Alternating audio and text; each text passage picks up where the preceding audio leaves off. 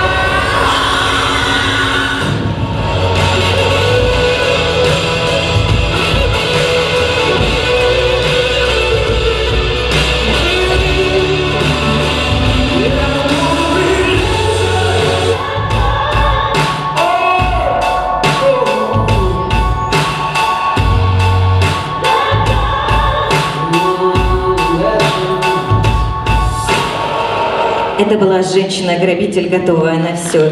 Петренко Оксана, город Бровары.